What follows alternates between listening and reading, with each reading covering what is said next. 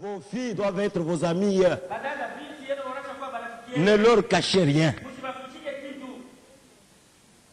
Nous sommes dans le temps de la perversion.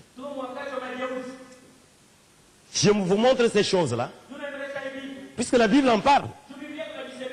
Si la Bible n'avait rien dit, je ne pouvais rien dire. Mais nous vous le disons avec des mots qui sont décents. C'est à vous de pouvoir apprendre à vos enfants, dans vos maisons, ce que- ce qu'ils doivent faire réellement. N'ayez pas de tabou.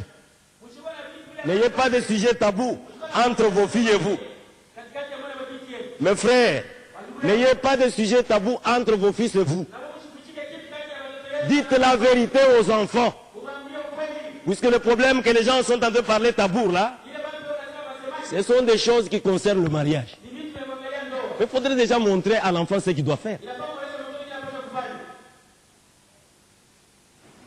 Les gens du temps de Lot se trouvaient déjà dans l'esprit de de la destruction.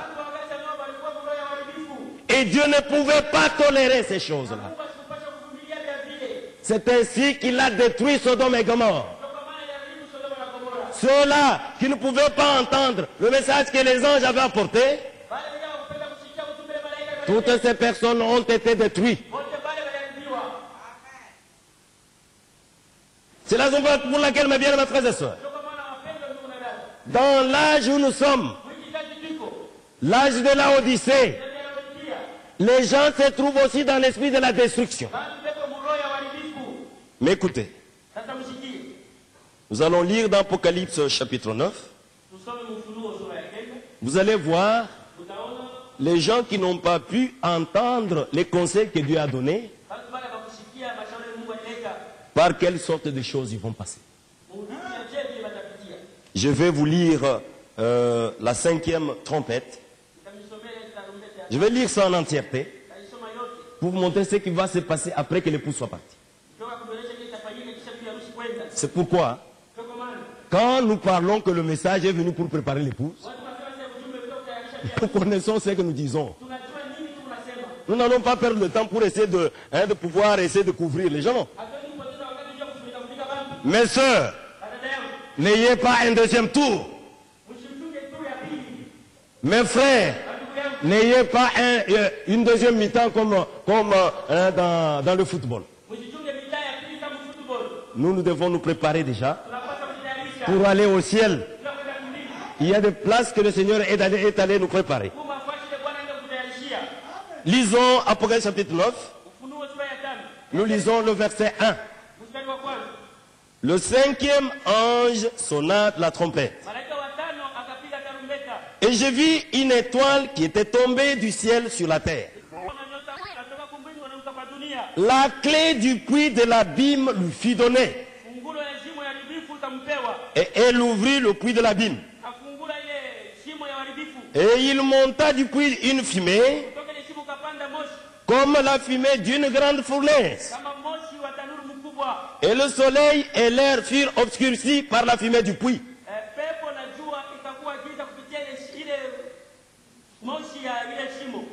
Des sauterelles sortirent de la fumée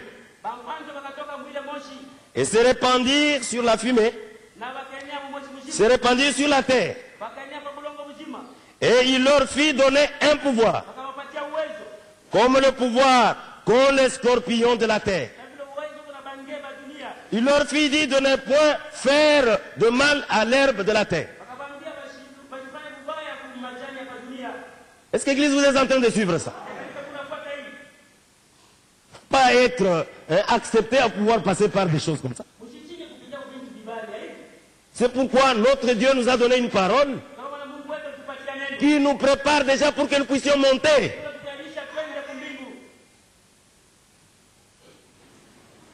Il leur dire de ne point faire de mal à l'herbe de la terre. L'herbe de la terre, pour ces sauterelles-là, ce n'était pas leur problème. Ni à aucune verdure. Ce n'était pas leur problème. Ni à aucun arbre. Ce n'était pas leur problème. Mais seulement aux hommes qui n'avaient pas le sceau de Dieu sur leur front. Alléluia. Est-ce que vous suivez cela, mes bien-aimés?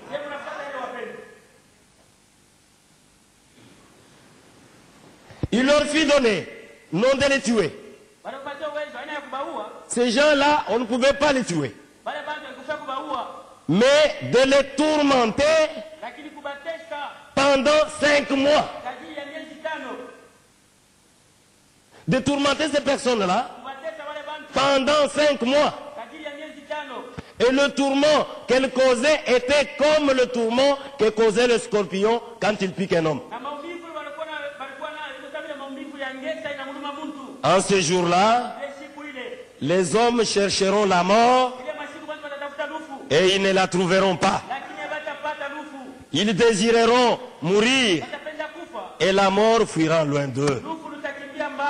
Ces sauterelles ressemblaient à des chevaux préparés pour le combat.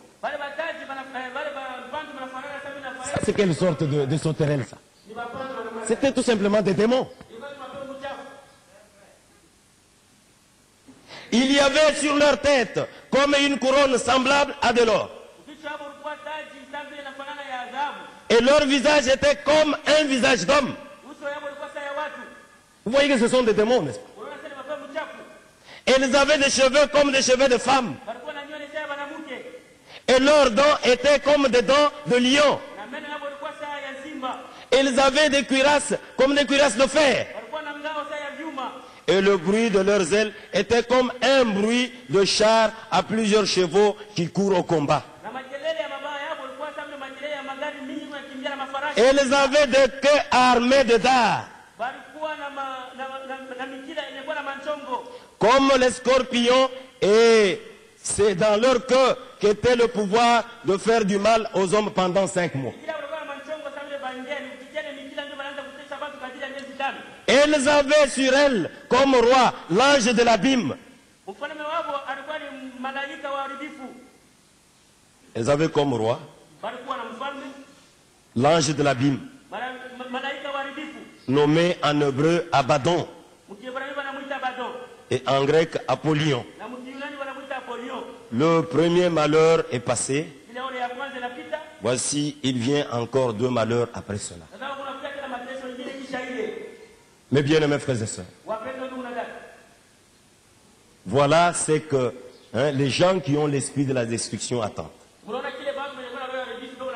C'est pourquoi Nous devons prendre en compte tout ce que notre Dieu est en train de faire pour nous aujourd'hui.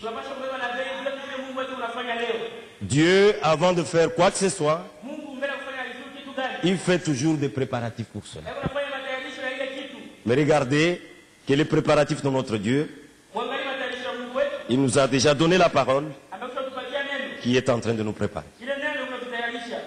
Ainsi, mes bien-aimés frères et sœurs, nous voulons remonter maintenant au Jardin d'Éden pour voir ce qui s'est passé réellement. J'aimerais que chacun de nous puisse prêter attention à ce que nous allons dire. Ève s'est revêtue de feuilles de figuier. Adam aussi. Mais quand arriva le moment d'être devant Dieu, ils furent condamnés. Ils se sont rendus compte que la religion faite de main d'homme ne pouvait pas marcher. Et Dieu a préparé des pots de bêtes ensanglantés comme vêtements. Quand ils ont commis le péché et qu'ils ont pris des feuilles de figuier, ils se sont revêtus de cela. Ils ne pouvaient pas se rendre compte en ce temps-là. Mais quand est-ce qu'ils se sont rendus compte? Ils se sont rendus compte quand Dieu est venu devant eux. C'est quand Dieu est venu devant eux qu'ils se sont rendus compte qu'ils avaient péché. Mes frères et mes, yangu. un jour, un jour, toi-même ma yangu. toi-même mon frère. La vérité se fera connaître. Aujourd'hui, Tu peux jouer comme tu veux. Aujourd'hui, tu, peux faire tout ce que tu veux. Mais un jour, toi-même,